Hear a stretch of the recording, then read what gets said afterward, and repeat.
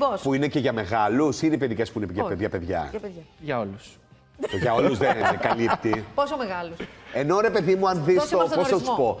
Πώς το λέγω, ο Νίμο ήταν μια ταινία που την έβλεπες και την έβλεπε κάποιος μεγάλος. Ή ο Καρχαριοκυνηγός επίσης είναι μια ταινία που την Όχι. βλέπει και ένας μεγάλος. Το baby boss είναι για παιδιά. Για... Είναι για μωρά.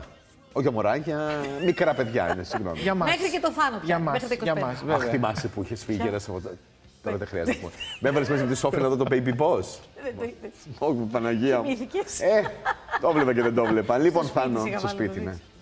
Για Τιμωρία. λέγε, Θάνο. Να δούμε τις ταινίες της εβδομάδας. Ναι, να δούμε.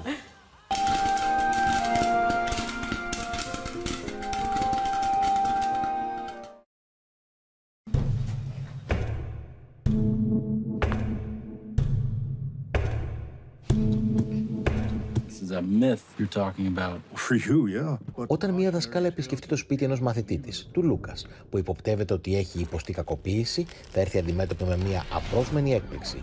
Ένα Windigo, το αιωνόβιο μυθικό πλάσμα που μόνο φρίκι μπορεί να προκαλέσει. Ο Γκυγέλμο Ντελτόρο μαζί με τον Σκοτ Κούπερ στο Adlers προσφέρουν ό,τι υπόσχονται.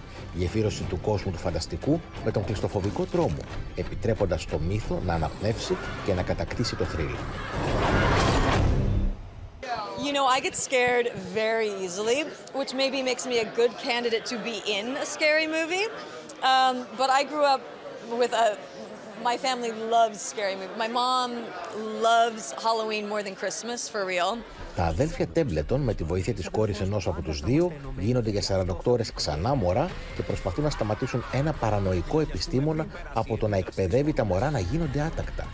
Η ανατροπή είναι μορουδιακή, αλλά το γέλιο των μικρών θεατών ξέχυλο. Όλα αυτά στο Αρχηγός από Κούνια 2, οικογενειακή υπόθεση.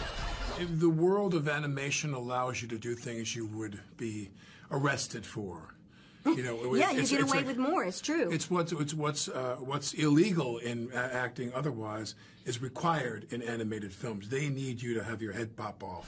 Τη φωνή του Άλεκ Baldwin στην ελληνική έκδοση χαρίζει ο Πάνος Μουζουράκης. Είμαι σίγουρος ότι με αυτό χρήμα θα βρούμε λύση. Παν Τα λεφτάκια μου.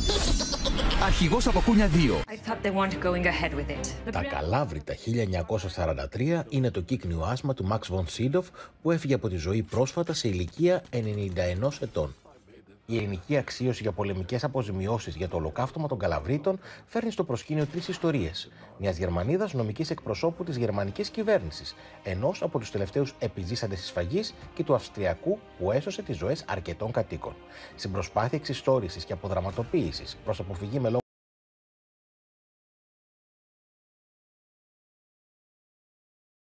καταστάσεων, ένα τόσο δυνατό θέμα καταλήγει ανεκμετάλλευτο, με τη σφαγή κυρίως off-screen και τις ανθρώπινες ιστορίες σε απόσταση από το συνέστημα του θεατή. Τα κενά της αφήγησης προδίδουν ότι ολόκληρες εκάνς κατέληξαν στα σκουπίδια. Κάποιες δε ιστορικές ανακρίβειες ενόχλησαν.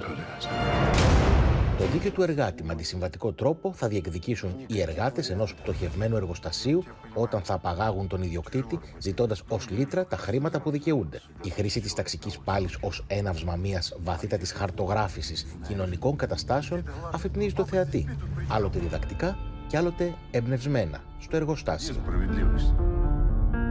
Ο σοβάρο χημικός μηχανικός οικογενειάρχης, παντρεμένος με Γερμανίδα σύζυγο, πιστεύει ότι τα νεκρά ποντίκια που βρίσκονται στην είσοδο του σπιτιού του είναι ρατσιστική επίθεση, μαύρη κομμωδία ή σκοτεινό παιχνίδι κατά δύο με τα φαντάσματα του μυαλού. Το ερώτημα δεν θα απαντηθεί ποτέ στην ταινία Εξόριστος, που στην ουσία καταφέρει να μιλάει για την επιρροή του κοινωνικού ρατσισμού σε θύτες και θύματα, οδηγώντας τους δεύτερους σε συμπεριφορές φοβικές, ακραίες, παρανοϊκές. 3, 2, 1. Τρεις ιστορίες γυναικών. Αργυρή Άρκτος, δηλαδή το δεύτερο μεγάλο βραβείο του Φεστιβάλ Βερολίνου. Ένα σπονδυλωτό έργο που η φαντασία είναι ανώτερη της φύσης ή ακόμα καλύτερα της φύσης και της θέσης. Αντίστροφη μέτρηση λοιπόν για μια δημιουργία που καταγράφει με όρους παντρέματος αισθητικής και αφήγησης Χιροκάζου Κορεέντα και Τακάση Μίκε το μεγάλο ταλέντο του Ριγισούκε Χαμαγκούση. Αυτές είναι οι ιστορίες της τύχης και της φαντασίας. Πάντως παραδοσιακά ο Νοέμβρης, για να σας πω και εσύ θα είναι όπως η μικρότερος να μάθεις από μένα.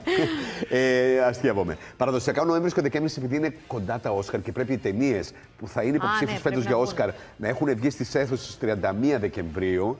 Βγαίνουν όλες. Τώρα όλες οι καλλιτεχνικές ταινίες ή αυτές που έχουν αξιώσει ότι θα Εντάξει, το έχουν καλό μια είναι- υποψηφιότητα για Όσκαρ θα βγουν μέχρι τότε. Το καλό είναι ότι μπαίνεις και σε, εσύ σε μια διάθεση να βγεις περισσότερο όμως και ευτυχώς δόξα τω Θεώ. Φέτος μπορούμε να πάμε σινεμά. Να τα λέμε και αυτά. Λοιπόν, ότι μπαίνεις Ναι, και εσύ σε μέχρι ένα τώρα mood μπορούμε να που πάμε, θέλεις ναι. να πας κάπου, να πας Ναι. θέατρο, να πας σινεμά, να κάνεις πράγματα. Οπότε καλό είναι που βγαίνουν. Γιατί Ω, φυσικά, όσο φυσικά. πλησιάζουμε τα Χριστούγεννα, Ναι. ε, τόσο πιο πολύ μας πιάνει η Σωστά. εξωστρέφεια. Και μια και είμαστε στο Hollywood. Α, να μείνουμε. Μια στο γυναίκα Hollywood. η οποία κι- έγραψε ε, κυριολεκτικά ιστορία στο Hollywood. Ναι. Και Και όχι ως μόνο στο ακτιβίστρια. Hollywood, αλλά και κυρίως σαν ακτιβίστρια. ακτιβίστρια